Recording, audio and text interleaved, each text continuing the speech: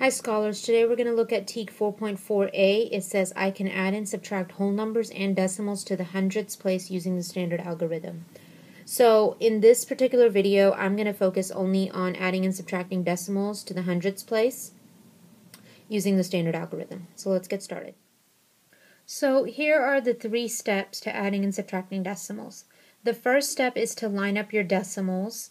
So like if they're adding, asking you to add you know, 1.3 plus 2.6, you know, you would line them up on top of each other. The second step is go ahead and write the decimal in your answer where it's going to be. And then the third step is to just add and subtract like it's whole numbers. So let's go over some examples. So suppose you get like 4.7 plus 3.5. So your first step is to stack them and line them up. So when you add, you want to write them up and down. So your key thing is to make sure those decimals are on top of each other. And then go ahead and write your decimal in the answer. Okay, then you're going to go ahead and add. So 7 plus 5, 8, 9, 10, 11, 12. Add like normal numbers. 4 plus 3 plus 4 plus 1 equals 8. So your answer is 8.2. So let's look at another example, 2.9 plus 3.6. So write them on top of each other where the decimals are lined up and go ahead and put your decimal in your answer. Then go ahead and add 9 plus 6 is 15. Carry the 1. 3 plus 2 plus 1 equals 6. My answer is 6.5 or 6 and 5 tenths. So let's look at another example. 4.8 plus 0.2. So you're going to write your 4.8 and again your rule is to line up the decimals. So these need to be on top of each other and go ahead and put your decimal there. Even though there's nothing here, that's okay. It's like saying you have zero ones, you know. So, you know, sometimes you might add, like, let's say 48 plus 7.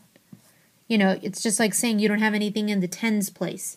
So this is nothing, anything, this is nothing different. So 4.8 plus 2, or 0.2, so that equals 10, carry the 1, 4 plus 1 is 5. So if you look at this, it's 5.0 or 5. And I've talked about in my other video that when you have 5, it's like having $5, so, you know, it can be written like this or like that, or 5.0. Okay, let's go over this example. 0.3 plus 6.1. Same thing, decimal, decimal, decimal. 3 plus 1 is 4. Nothing plus 6 equals 6.4. Okay, let's look at this. 3.05 plus 4.62. So again, line up those decimals.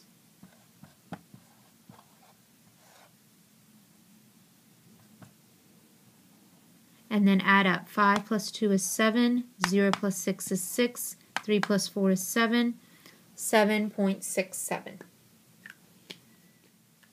So, so far everything we've been adding has worked out. It's been pretty easy. But now let's look at this one. This one's a little weird. 2.9 plus 1.06.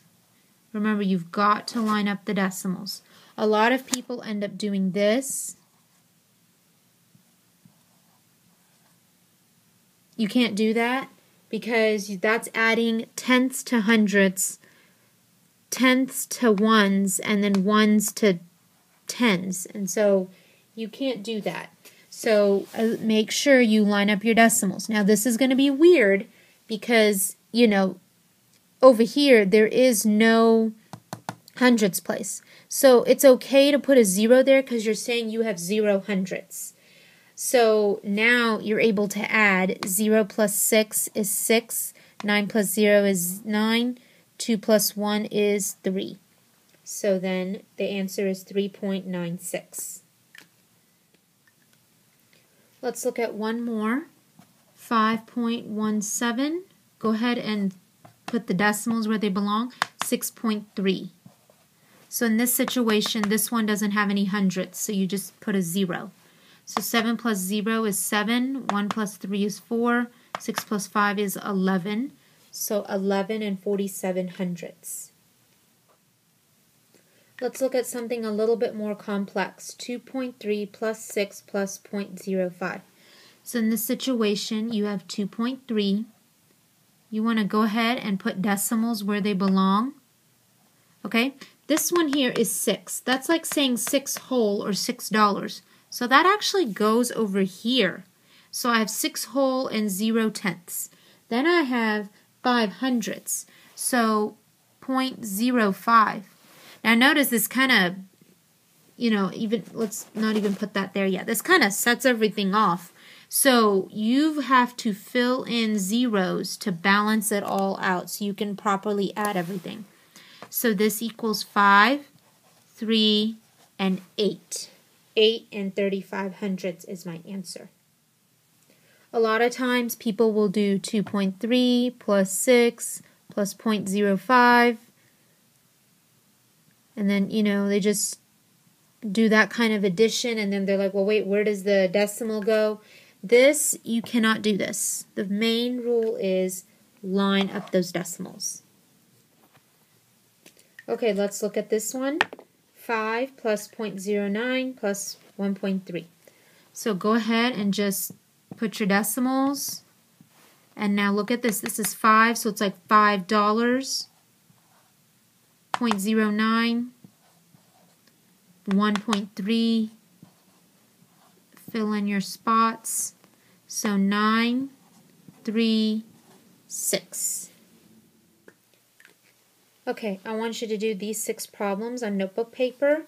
Remember to line up your decimals first and then fill in zeros anywhere needed and then um, and then add or and then just add. So press pause and then press play when you're ready to check. So I went ahead and solved all of these. Here is what they all look like with the decimals properly lined up and with all the zeros filled in. So you can press pause to continue looking. Um, I'm going to move on to subtraction now. The rules for subtraction are exactly the same. You line up the decimals. So if I have 0.5 and I'm doing minus 0.2, line them up, put your decimal right there, you have 0.3 as your answer. If I have 0.9 minus 0.6, I have 0.3 as my answer. Okay, so 1.2 minus 0.5. Okay, line them up. Go ahead and set your decimal down. Now remember, you can't do 2 minus 5, so you have to borrow, so that becomes a 0, and that becomes a 12. 12, 11, 10, 9, 8, 7. 0.7 is my answer. Remember, the rules for subtraction still apply, that if you can't take away, you have to borrow. So let's look at this one. 8.4 minus 2.09. My decimal is going to go right there. So notice there's a blank spot here. This is where putting the zero is even more important because like in addition, sometimes you can kind of just ignore it. But in subtraction, you have to put the zero. Because look, I can't do 0 minus 9 or 9 minus 0. So I have to borrow, so that becomes a 10, that becomes a 3. So 10 minus 9 equals 1, 3 minus 0 equals 3. I didn't have to borrow from the 8 to make that work, so that stays where it is. 8 minus 2 is 6. Okay, 7.31 minus 2.9. Okay, fill it in. Now in this situation it's easy. 1 minus 0 is 1. But then I can't do 3 minus 9. I have to borrow from the 7, so that becomes a 6. So that'll become 13, 12, 11, 10, 9, 8, 7, 6, 5, 4. Remember to keep your decimal there. 6 minus 2 equals 4. Here's a little bit of a crazy one. 3 minus 0.25. So remember, your 3 is like 3.0. 0 and then you have your 0.25. 3 is like $3. Okay, now do you see why it's really important to put the zeros? Because I can't do this minus this, I can't do this minus this, so we're going to be borrowing a lot. So in order to borrow from this one, this one needs to borrow from this one. So that one's going to become a 2. That can become a 10. But then that one's going to borrow from that one, so that'll become a 9. So then that can become a 10. So 10 minus 5 is 5. 9 minus 2 is 7. 2 minus nothing equals 2. Think of it this way. It's like $3 minus 25 cents. Well, $2.75 plus 25 cents equals $3. Here's another one. 4.1.08. Decimal over there. Put a 0 here. 10 that becomes a 0. 10 minus 8 is 2. 0 minus 0 is 0. 4. Last one, and then we're going to do checkpoint. So 7 minus 3.16. So I know 3.16 goes there. Now the 7, it's like $7. 7 whole. So 10, 10, 6, that gets borrowed from, so that's going to be 9. So 10 minus 6 is 4, 9 minus 1 is 8, 6 minus 3 is 3. Okay, it's time for checkpoint. I want you to solve all these problems on notebook paper. Press pause, solve, press play when you're ready to check. Here are the answers. I went ahead and wrote them out up and down with the decimals lined up and zeros put in where they belong. So you can press pause and continue to look. Um, I'm going to go ahead and start my next video. I hope you have a better understanding of adding and subtracting decimals.